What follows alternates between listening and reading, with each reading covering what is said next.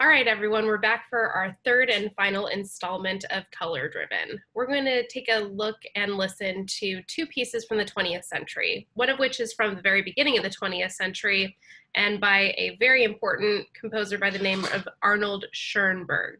Um, we're going to talk about him and the Second Viennese School in detail a little bit later on in the semester.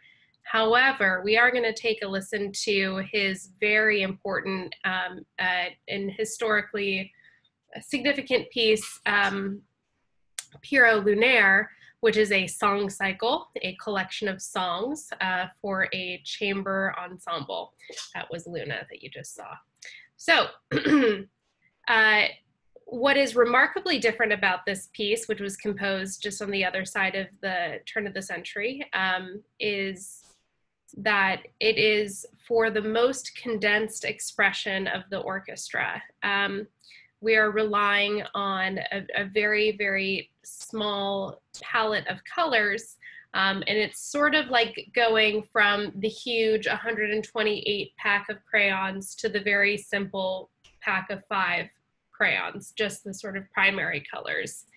So this means as a composer, you're going to have to rely on combining instrumental uh, color or instrumental voices in order to create colors that aren't there or to be very, very creative within constraints. Let's go ahead and toggle over to my lecture sheet so that we can see the instrumentation of the Pierrot ensemble. Okay, here's the lecture sheet. Uh, we're at the early part of the 20th century. We're gonna investigate the Pierrot ensemble. Sorry, I've got a frog in my throat. The woodwinds. We have a, um, a flute and its secondary instruments and a clarinet and its secondary instruments. And those are the only two woodwind voices that we rely upon. So there's no expression of double reeded instruments. Uh, there is no um, there's no expression of the oboe and there's no bassoon here. Uh, additionally, um, we have gotten rid of the entirety of the brass family. So in order to create the sort of illusion of a brass sound, you might have to combine, for example, the cello in its lowest register and the piano in its lowest register with particularly kind of like percussive attacks, for example. Um, otherwise, the string family is really a um, very constrained restriction um, um, of, of uh, instrumental voices. We have just the upper voice, the violin, and the cello rounds out the bottom voice. So we don't have that nice middle voice, the viola, and we certainly don't have the very lowest end, the double bass. Technically, the piano covers that in terms of, of range. And the only other sort of oddball thing that's happening in the Pierrot ensemble is the inclusion of the singer. Uh, this piece ended up being so important historically um, uh, that other composers wrote for this very ensemble. Occasionally, they'll take a the the soprano and exchange it for a, a different singer uh, in, in, terms of uh, vocal assignment, an alto, a tenor, or more commonly perhaps a baritone. Um, uh, and an alternate extension that sometimes exists is the inclusion of percussion.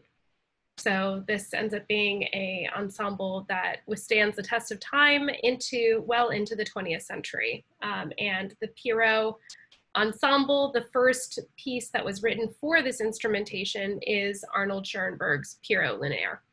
I'm going to play a selection of Pierrot Lunaire for you all. Uh, it's a collection of songs, which makes the form a song cycle. Uh, because we're dealing with lyrics uh, and a singer so giving us lyric content and everyone else supporting that sound, technically we're going to be listening to a lot of homophonic texture. Um, this music is very kind of nebulous sounding uh, and has a lot of dissonance uh, in terms of the harmony uh, sounds that sound uh, like they are uh, in need of resolution or they do not sound like they are at rest. So there's going to be this sort of sense of eeriness um, that pervades the, the music. Uh, let's go ahead and listen to Pierrot Lunaire.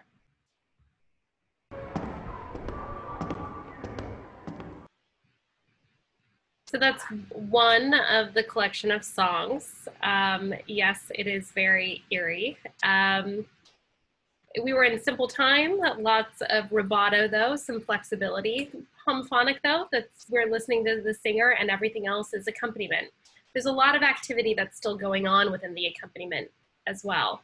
Um, and one of the things, aside from the way the pitches are used to, to create sort of discordant events, um, one of the, the main identifiers that this is a piece of the 20th century is the inclusion of what we call extended techniques, using an instrument in non-traditional ways. So um, we had uh, some tremolo in, in the strings, which is not a particularly new sound, uh, in addition to pizzicato. But those, in addition to what we also heard, do give us the um, idea that this is indeed from the 20th century um, does not uh, uh, pass the the elevator test, um, you would definitely not listen to this on hold. There are too many uh, senses of irregularity that are happening within within the music here. Um, and in terms of extended techniques, the uh, singer is also engaging in an extended vocal technique called Sprechstimme, uh, which means to half sing, half speak uh, a, a, a lyric. So this is, um, yeah, a, a, little bit different in terms of its tone color that the composer is trying to achieve. We have one other piece from the 20th century that we're going to listen to. And by the way, this is not the only time we're going to listen to um, Arnold Schoenberg's work. We're going to revisit him in a couple of weeks um, or in a, a few, few lectures when we talk about the Second Viennese School. Uh, but talking about something very radical that happens in the 20th century, we're going to discuss a little bit about spectral music um, in a very loose sort of way. So let me go ahead and share my screen with uh, you so you can see my lecture notes. Okay, we've listened to a lot of music that relies upon a harmonic structure that uh, is built up what we call triads or chords. Uh, if I were in a classroom with you, I would walk over to the piano and play a C major triad. I am sure of it. Um, however, this is not the only system of organization that you can use in terms of um, uh, pitch structure. Without going too far into it, because it's a topic that we're going to discuss a little bit later on in the series, uh, on in the lecture series, um, I'm going to talk a little bit about the harmonic series this, even if you don't read notation, we're going to follow what this is trying to tell us. And what this is trying to tell us is that if we're listening to this bottom note, this happens to be the pitch C. It's the lowest C that you can play on the piano. If I strike that note really, really hard, what we're actually hearing on the inside of the imp, uh, instrument are sympathetic vibrations for pitches that are listed two, three, four, uh, two through 11. And there are some that, that um, are expressed after 11, um, what we call the 11th partial, um, but they are significantly less audible as you go up the, um, up the partials. So why do we care about this harmonic series? Well, the harmonic series and how it's expressed is how we can distinguish different instruments from one another. The percentages of what we hear for numbers 2 through 11 in terms of partials are different from instrument to instrument there are so many other factors too in, in terms of like the, um, the material that the instrument is made out of, which it does have an impact on the timbre. What that, but the, what that mostly is impacting is the harmonic series. So the harmonic series, this, this note is C. We're also gonna be, the, the next par partial is the note C. So that's what makes C sound so C-like is it's sympathetically vibrating with a bunch of C. But then there are a bunch of other pitches that are also sympathetically vibrating because of the wavelength of the pitch C. It's very, very cool. So a composer by the name of Grisey ended up writing a piece based on this overtone or this harmonic series, or what we can also call the overtone series, because all of these are tones that occur over the fundamental pitch. Um, so we're this this this piece that we're going to listen to by Grisey starts out with a very long string solo and then morphs into a piece that incorporates the full orchestra. But the sounds that we are listening to are the sort of emphasized expression of different partials based on the fundamentals that are written in the orchestra. I'll just give you a little taste of what all of that sounds like. Let me go ahead and pull up the listening example.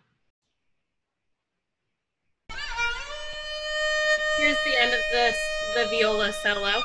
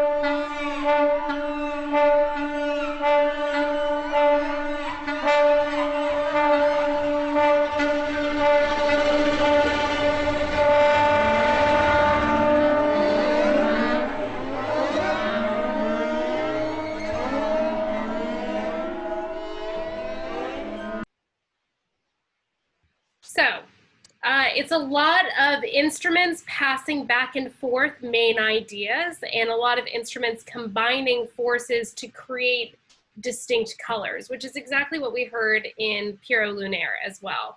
Um, however, the instrumentation here is much more expansive. Um, including uh, many more instruments uh, than the Pierrot ensemble, and obviously requiring a conductor as well. Um, both pieces rely a lot on extended techniques, but also the special combination of uh, two or more instruments to create a particular kind of sound. Um, notice that when everything is very texture oriented, it's so much more difficult to figure out what's happening um, with the actual texture label. Meaning that here it's a lot of um, nebulous lines where it's very difficult to delineate who is playing melody and who is playing accompaniment. Um, it feels much more abstract in that way. So a hierarchy is much more uh, difficult to determine in here which means that texture is something that is much more difficult to parse out. Um, this piece certainly has a number of hallmarks of the 20th century, though, mostly extended techniques, the idea that a pulse is almost uh, impossible to find. We have a presence of mixed meter, but the only reason I can tell you that is because I'm really looking at the conductor and watching his hand patterns change. Uh, and when we have uh, changing patterns, that means that we're dealing with different top numbers and occasionally different, different bottom numbers in terms of our time signatures. Um, lots of um, jarring changes as well between loud and soft, which we also had within um, Pierrot Lunaire for the small ensemble that it was. So hopefully this lecture gave you an, a, a, sort of view into how the orchestra has changed over the uh, last few hundred years. Um, it, we started off in the Baroque era, the later part of the Baroque era with Haydn, uh, and we traversed all the way to Grisey of the 20th century. Um, uh, lots of innovations that we're going to revisit in pieces later on this, this term. So looking forward to seeing you all for our next lecture. Take care. Bye.